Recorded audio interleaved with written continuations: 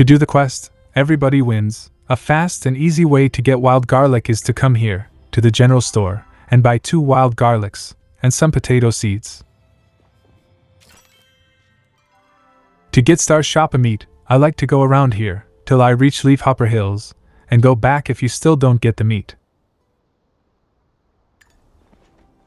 The star potatoes I don't know any other way than gardening in my home, so I guess planting a good number of potatoes to get a star one.